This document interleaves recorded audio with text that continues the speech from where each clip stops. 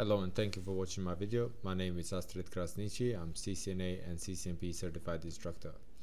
On this video we are covering CCNA semester 1 Introduction to Networks. This is chapter 3 and it's uh, Network Protocol and Communication which is part 3.2 Network Protocol and Standards.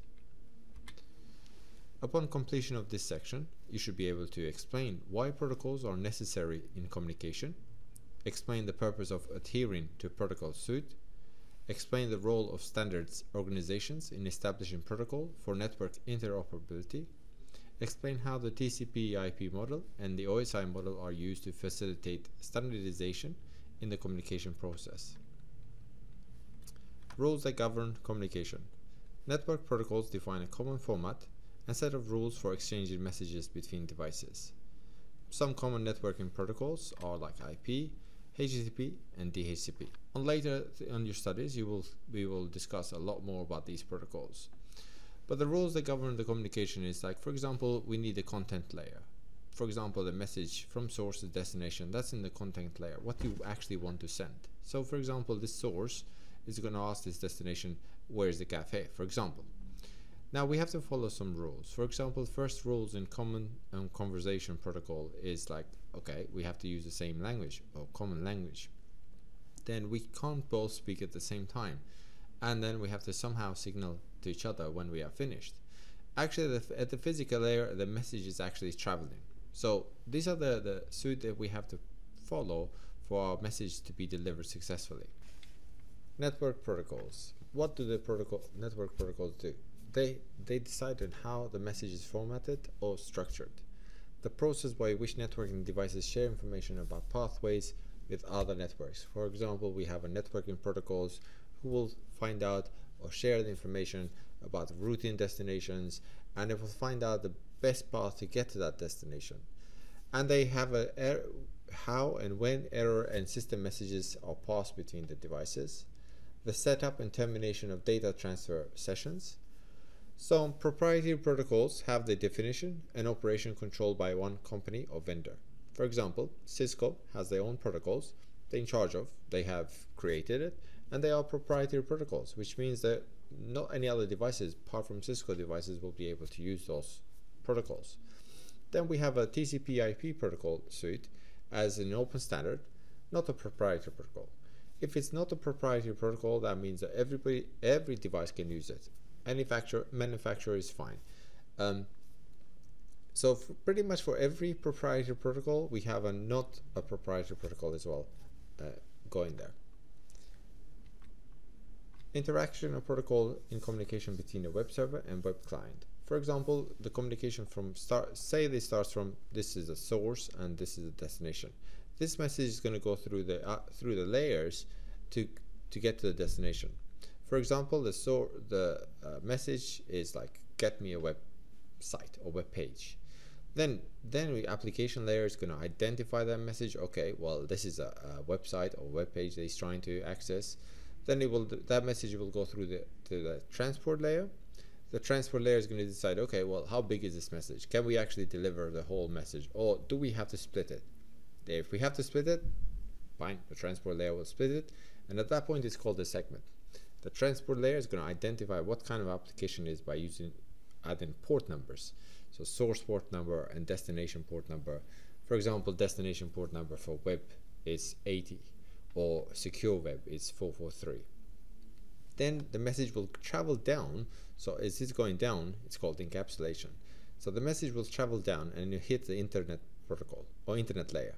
Internet protocol is going to decide, okay, well, what's the logical address? What is the IP address of this device, the source, and what is the IP address, which is the logical address of the web server. Then it will decide the best path to get to the destinations.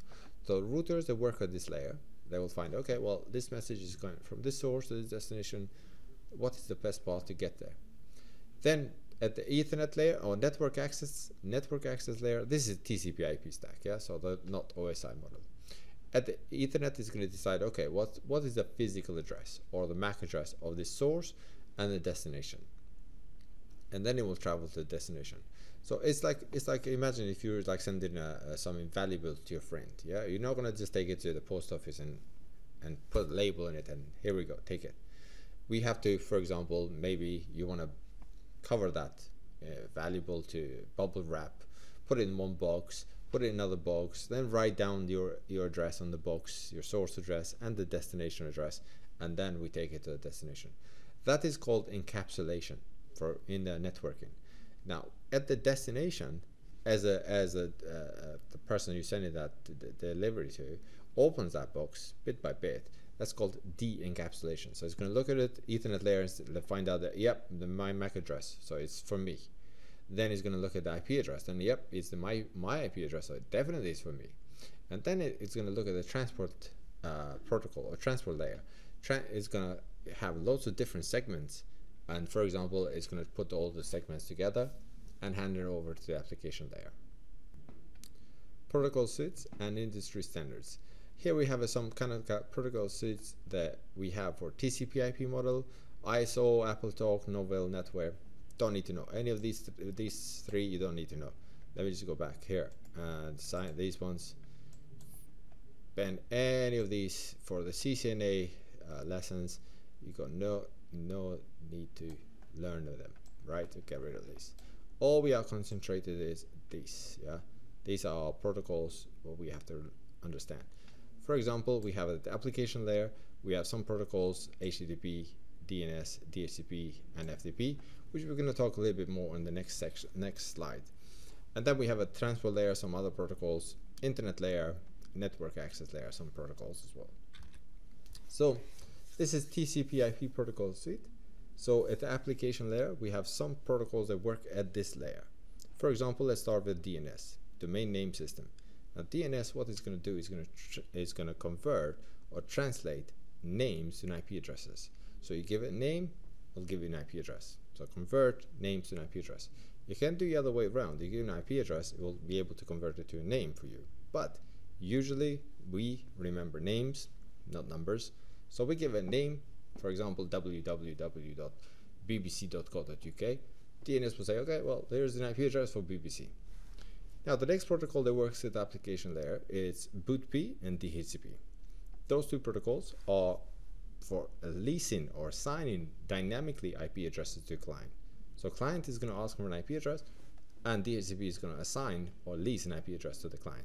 Now BOOTP was protocol before DHCP. DHCP has um, kind of made the BOOTP redundant really because DHCP every we use it now. Then we have email. Email there's three protocols in in uh, application layer of email that we have SMTP simple mail transfer protocol which is for sending emails. POP3 is for receiving emails and IMAP is for receiving emails as well. Now these protocols the two protocols for receiving emails they both do the same thing. They POP and IMAP they both do the same thing. Receive emails. But POP receives the email and once you receive an email it deletes the email from the server. While IMAP, when once you receive an email, email is still stays at the server. So IMAP, you can think of it as synchronization email with the server rather than actually downloading them. So if you really want to delete the emails from the server, you have to manually go to the server and delete the emails for yourself. Then we have a file transfer protocol, FTP, so and TFTP. Those two protocols, obviously, like the name says, will help you to transfer files between the source and destination. Then we have a web web protocol HTTP. Yeah, more more most Uh, people they understand this protocol. What is a web protocol? You open the web browser, Google. That's the protocol you're using, HTTP. Then at the transport layer, we have two protocols. We have UDP and TCP. Now UDP is unreliable protocol, while TCP is reliable protocol. So, okay, one unreliable, one reliable. I will choose a reliable one better. Yep. Yeah, I would say so as well. But UDP has its place as well. UDP, we need it, for example, for applications that they need fast uh, transfer of data. For example, like voice over IP. They can tolerate little bit of packet loss. For some reason, if we lose some packets, it's fine. It's better to, to lose them than to try and, and send them again and so on because it will create delays and so on. So delay sensitive application that require UDP protocol. While TCP is a reliable protocol. So when we send a packet, or quite a few segments, we would require acknowledgement that you received the packets. but they are not delay sensitive applications. For example, if you open a web browser that's using TCP, now if you uh, receive the web page like maybe, I don't know, one or two seconds later than what you should have, you wouldn't even notice the difference. So yeah, it's fine. And but reliability is there. So for example, say that you do the banking. Well, the, you do want the packets to go to the destination and make sure that they are getting to the destination. So if they are two, three seconds later, it's fine. We can resend them again and so on. While UDP, think of it as um, voice, voice over IP or video over IP. So imagine there's a video stream coming in. For it's fine if the few packets they drop, you know that you don't see the video as as clear as you'd like, but you still see the video. It's better than trying to resend them again, which is going to make more delays. Then we have an internet layer. At the internet layer, we have some protocols that work here. One of the main protocols that works is IP protocol, internet protocol. This is a logical addressing. Logical meaning that we can change addresses. Today we are in this address, tomorrow we can have a different address. It's like your home address really. Now then we have a NAT, network address translation. This protocol will translate private IP addresses to public IP addresses. ICMP, this is more about troubleshooting that we use, like ping, traceroute, and so on. Then we have some routing protocols like OSPF and EIGRP. They will share information about destination, remote destinations, and find out the best path to get to those destinations. Then we have a network access layer. A network access layer, we have some protocols that work at this layer. ARP, Address Resolution Protocol. This is when you want to find out what IP address has got what MAC address. So you broadcast, you say, okay, uh, who's got IP address 10111? And the one that has, I say, yeah, me, this is my MAC address. Then we have a, you will learn about these protocol, the PPP more in, in uh, CCNA semester 4. So this is for wide area network, PPP. And then we have the Ethernet network, Ethernet protocol that is, for example, tells you what kind of what kind of cabling you're going to be using, straight through, crossover, and so on. And then we have our interface drivers. Open standards. Open standards, they do encourage competition and innovation, as well as the advantage of network devices implementing open standard protocols, such as from, uh, from TCP IP suite, is the clients and server running different operating system can communicate with each other. Great, yeah? So for example, I can buy a PC and you have an Apple computer, we can still send and receive data to each other because we use in open standard protocols, not uh, vendors' proprietary protocols. Internet standards are controlled by Internet Corporation and assign names and numbers, ICANN. They, they, they control, like, for example, the define of IP addresses and they give to IANA, which will distribute it to regional offices, and then you can purchase the IP addresses from them. So for example, we can purchase IP addresses, we can purchase domain name, and take control of TCP and UDP port numbers. Electronics and Communication Standard Organization, Institute of Electrical and Electronics Engineering, or IEEE for, for short, is the group that actually is in charge of all pretty much anything that starts with 802. And we're going to talk in our course, we're going to talk a lot about 802 this, 802 this, and so on. The benefits of using layered model assist in protocol design, fosters competition, prevents technology or capabilities changes in one layer from affecting other layers above and below, provides a common language to describe networking functions and capabilities. For example, uh, here we have a layered OSI model and TCP IP model. So we have layered here. Um, for example, if there's a changes on the network layer, for example, say in the future maybe we have a different IP, IP version. So we don't have to change anything on the transport layer or the data link layer but just because we make changes to the network layer, other changes they don't happen. OSI reference model. Now this is this is the reference model. These are the seven layers. They're pretty much going to go through the semester CCNA semester one. But anyway, we go very quickly here. Um, you do have to remember them. We start at layer, layer 7, application layer. The application layer provides a means for end-to-end -end connectivity between individuals in the human networking using data networks. Now, one of my old students used to say, okay, well, why do we start with layer 7? What can't we just start with layer 1? Good answers, good question, but answers to that is that we are here. We are the top of the OSI model. So when we click something or open something, the first interaction that we're going to have through the network is the application layer. if we're going to go through the network. Say, no, if we open, for example, say you open Notepad, you're not going to go through the network layer. So you're not going to interact with any of the layers.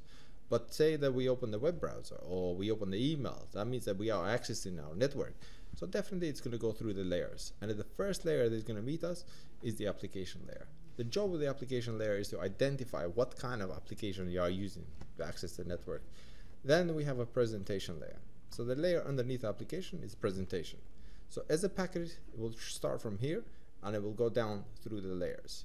So the presentation layer provides a common representation of data transfer between application layer services. Okay, what that says is that it takes the application stream, take the it's called a stream, yeah. So it takes that stream, looks at the presentation, and it thinks, okay, well, how can I format this? Doesn't need encryption before I send I send it. Formatting, for example, is it JPEG or MPEG and so on. So how am I'm gonna present this stream. The session layer is the one underneath that. The session layer provides services to the presentation layer to organize its dialogue and to manage data exchange. Okay, what this says is like it's a it's like a management layer. It's make sure that the, the communication is there. Make sure that okay, I need to set it up and terminate the communication. If it's idle, I need to reset the communication again, and so on. Layer 7, 6, and 5 are considered uh, upper layer protocols, and then we continue with layer 4, which is transport layer. Now transport layer defines services to segment, transfer, and reassemble the data for individual communication between the devices. What this says is like, okay, well, we take this stream. So from the application goes to session, sorry, presentation, then to the session, and it reaches transport. Transport layer says, okay, well, do I need to do I need to segment it? Do I need to make it into small pieces? So in this, for example, I want you to imagine that you transferring uh, from from you to your friend a big cupboard. Now, big cupboard, uh, as far as the application presentation session is concerned, it's like, okay, well, I want you to take this big cupboard as it is and send it to the destination. Well, transport layer looks at it and says, okay, well, I need to actually break it down into small pieces, like un undismantle it, so it will be easy to transport, yeah? But while, while he's making, while he's breaking that cupboard or dismantling into small pieces, it's, that's called segmenting. And it's important that each segment gets sequence number. So for example, okay, piece 1 out of 10, piece 2 out of 10, piece 3 out of 10, 4 out of 10, and so on. So when you receive, when you send it to the destination, the destination can look at these pieces and say, okay, well, I need to reassemble them to the way they were sent. It's like I don't know, if you buy a cupboard from IKEA, you get all the pieces, you get the list, say, okay, well, you need to reassemble them before you give it to the upper layers. Then we have a lower layers. They continue with a layer three, for example. Next is the network layer. Network layer decides, okay, well, I need to send it from the source to destination, given IP address. Source IP address, source, uh, sorry, destination IP address. Those two information, they do not change. From the source to the destination will always be the same. Apart from NAT when we use network address translation, but that's again in semester two. Then we have the next layer, which is data link layer. Data link layer, um, what is it? Data link layer protocol describes method for exchanging data frames between devices over common medium. Now, data link layer is layer two, and it puts the physical addresses, physical MAC address, source, physical MAC address of destination. Now, the data link layer information like that will get changed from the source to the destination. It gets changed hop by hop. So as from the, for example, from the PC to the router. Source is a PC. The gateway or the router is the destination, not the, actually the far end, the destination where you're going. So because the, that data gets ch changed or replaced at every hop. And then we have a physical layer. Physical layer deals with actually moving the zeros and ones, actually physical zeros and ones, electricity, waves, or lights, or whatever is sent from the source to destination. Then we have a same TCP/IP model is the same as the, the OSI model, just has few fewer layers.